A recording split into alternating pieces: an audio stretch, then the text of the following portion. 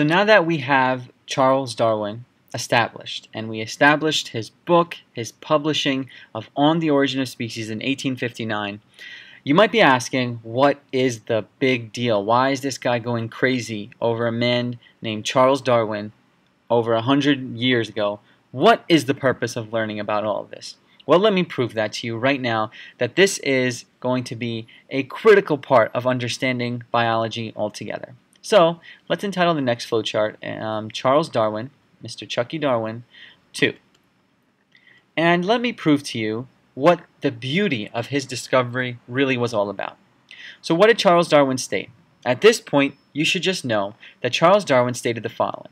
NS, which is natural selection, is the mechanism for evolution. He basically explained how evolution happens, and he says in two words, evolution happens through natural selection. Descent with modification happens through natural selection. How did he come up with this, and why did he come up with this, and what does this mean for you as a general biology student? Let's see. There were two major observations that Mr. Charles Darwin made. Two major observations. And out of these two major observations came what we would consider two major inferences, all of which were written down in his book in 1859 on the origin of species. Now remember, these major observations were based off of his journey on the Beagle, a five-year journey on the Beagle, and those inferences are based off of these observations. That's what the idea of an inference is. It's something based off of an observation. So let's get to it. What's the big deal of natural selection? Here we go. The first major observation was something that we see every single day and don't really appreciate, I think. The fact that the world is full of an incredible amount of variation. You cannot study evolution unless you understand that the world is full of variation in the sense that every individual, meaning every living thing in that situation, every individual has what Darwin would consider a unique combination, so I'll just write combo of traits. And we know what traits are. We talked about traits in Mendelian genetics, things that define an individual. Eye color, hair color, height, length, um, round versus wrinkled, smooth versus rough. All those traits that we've mentioned before are unique in the sense that the combination of them leads to a unique individual, a variation in species. From this, we can state the following. We can state the following that this variation, this uniqueness, causes every individual, so every individual, IND, to differ. Okay, we're all unique. I know it's cliche, but we literally are all unique because of variation. It causes every individual to differ in there, and this is what made Darwin critical, and this was what made Darwin revolutionary. Differ in there, he was the first person to state the two most important things about evolution survival, and when you survive, you will coincidingly reproduce. Survival and reproduction. S plus R is what I'll write this as from this point forward, S plus R.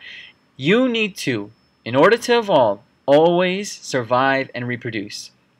Survive and reproduce, survive and reproduce. Critical idea that Darwin came up with. The reason why there's a difference in all of us, the variation in all of us, is because there's a difference in our abilities to survive and reproduce. To survive and reproduce. Cool. That's what is variation. Variation is due to our differences, our unique combination of traits, which gives us differences in our abilities to survive and reproduce. Okay, hopefully that's clear.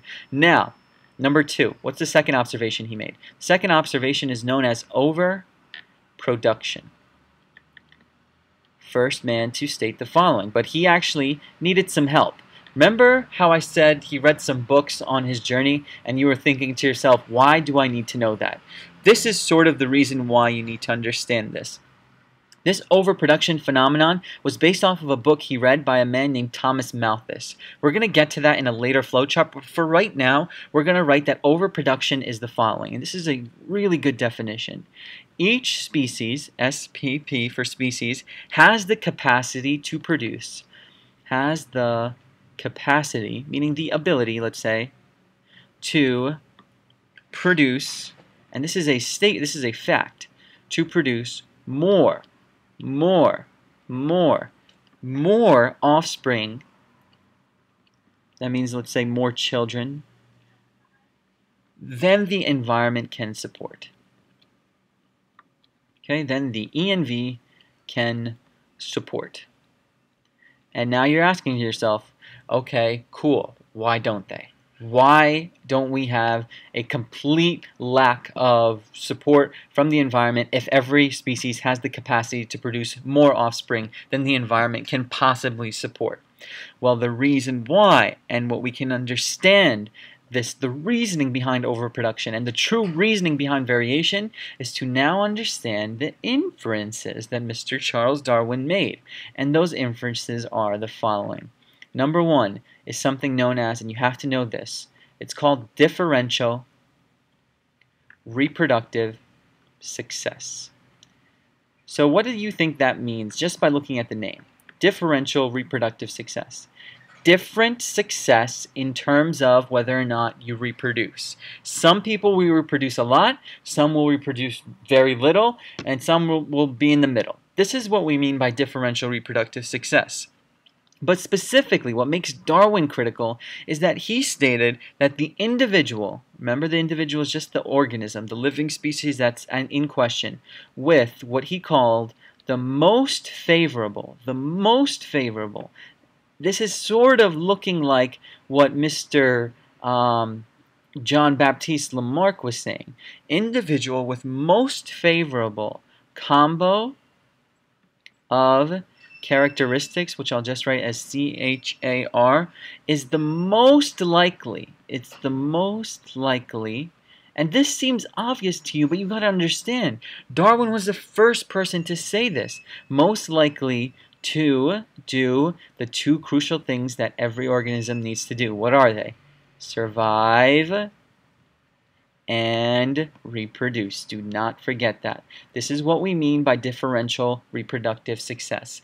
The, if you have the most favorable combination of characteristics, if you're the strongest, if you're the fastest, maybe you're the smartest even, you are the most likely to survive and for that reason, because you survive, you are coincidingly going to be the most likely to reproduce as well. There is a difference in terms of whether or not somebody survives and somebody reproduces, all based off of their combination of favorable or non-favorable characteristics.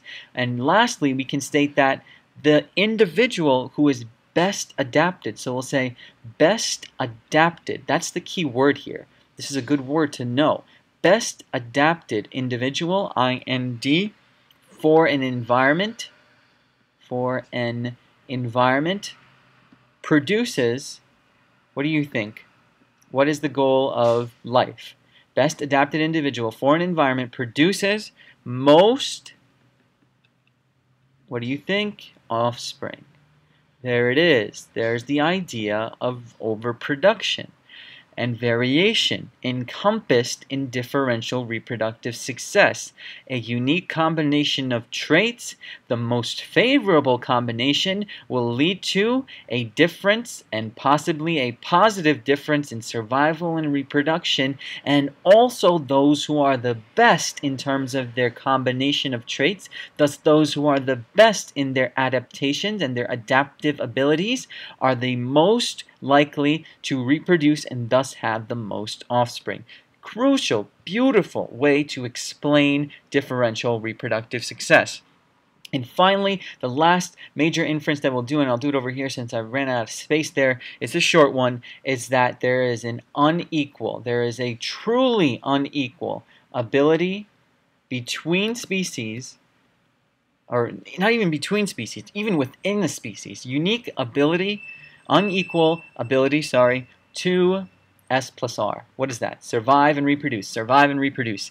What does this go along with? It goes along with variation and overproduction simply because what we can state is that the accumulation, because those who are best adapted, those who have the best combination of characteristics, their characteristics, their traits are going to accumulate because of what we say the accumulation of favorable the accumulation of favorable traits in populations, so POPs for populations, over generations. This is a key idea here. Remember, evolution in and of itself happens at this level. It happens in populations over many generations, over a long period of time. That's something we're going to establish a little bit later in Biology 1. But for right now, overarching idea behind both of these things. Variation and overproduction are two critical observations Darwin made, and he stated lead to a difference in survival and reproduction and lead to the, this capacity of every species to produce more offspring than the environment can support. But why does that not happen?